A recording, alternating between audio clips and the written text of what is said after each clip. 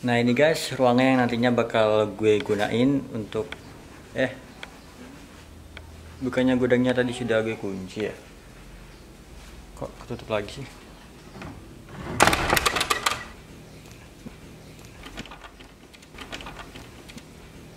Nah itu dia guys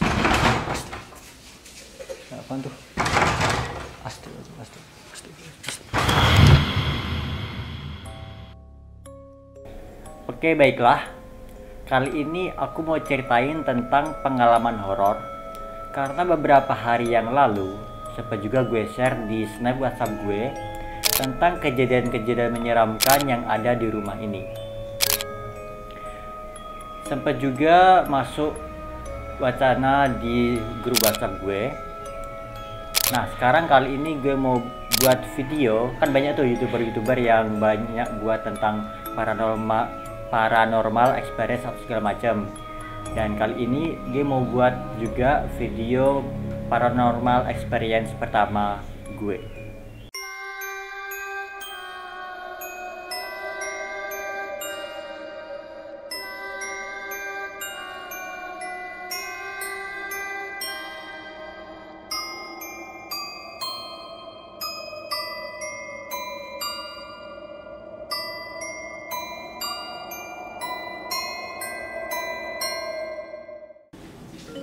Di sini kalau tengah malam ada suara orang lagi ngeden. Ternyata waktu dibuka nggak ada orangnya. Ternyata di WC sebelah ada Anton lagi ngeden. Ceritanya begini. Dulu sebelum rumah ini dibangun, dulunya tuh tanah kosong Sini. yang bekas hutan gitu. Dan katanya ada makhluk halus penghuni hutan itu. Lalu beberapa hari yang lalu itu penjaga rumah gue nangis-nangis karena kunci di gudang. Oh, oh, bentar. Dan juga pas saat gue gak lagi ada di rumah, dia bilang ke gue itu sering ngalamin kejadian-kejadian aneh. Di sini kalau aku lagi tidur ada yang ngetuk-ngetuk pintu kayak gini. Biasanya yang ngetuk nyuruh aku bangun sholat subuh. Di sini biasanya kalau lagi sepi nggak ada orang, ada anak-anak kecil lagi main di sini. Eh, itu mereka.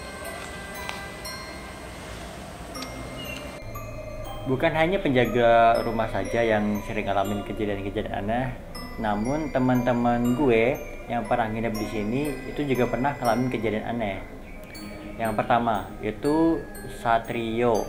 Dia ngalamin pas tengah malam dia di WC itu mendengar suara-suara aneh gitu.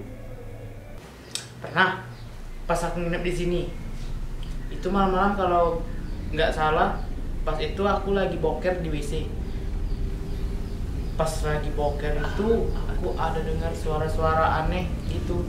Kayak ada yang lempar batu ke air gitu. Suaranya tuh gini. Pluk pluk. Pluk.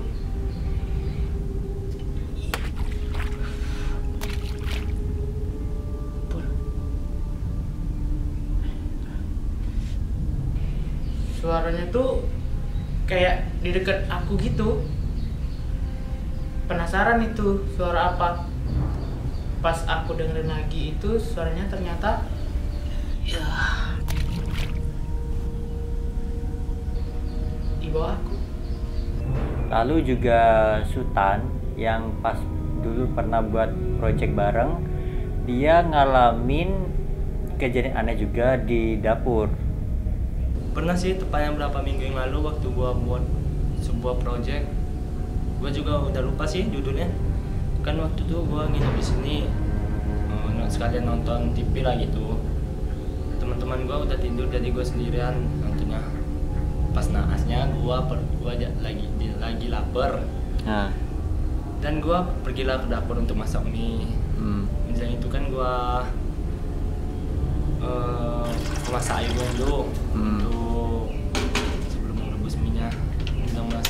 gua nonton kembali lah acara TV tersebut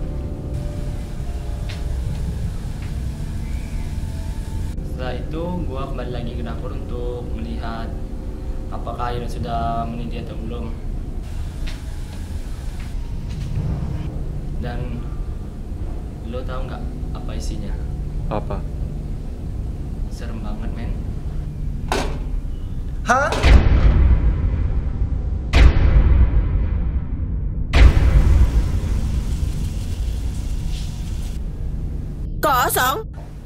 Astagfirullahaladzim.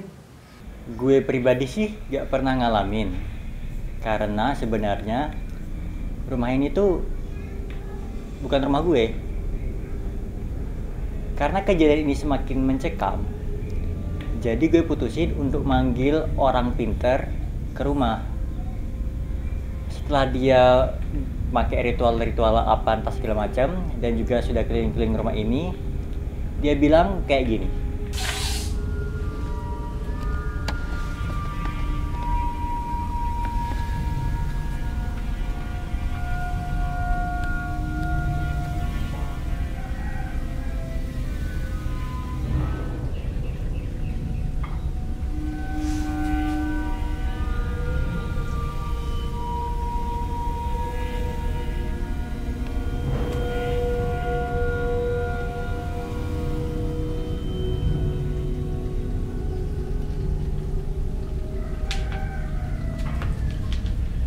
WC ini menurut KBBI yaitu kependekan dari water close yang berarti toilet alias tempat buang air alias jamban.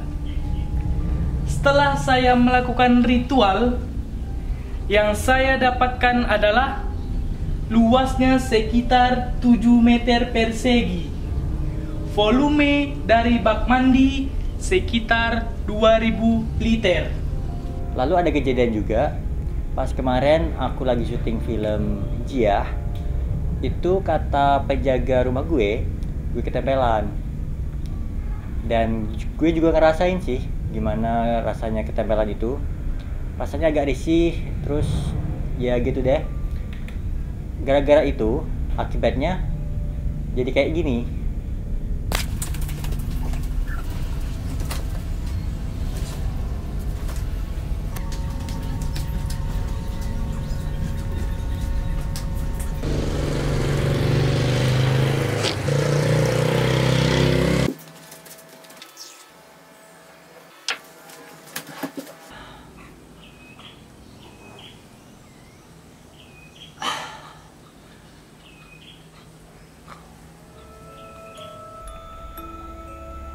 Untungnya sekarang gue sudah gak ketempelan lagi.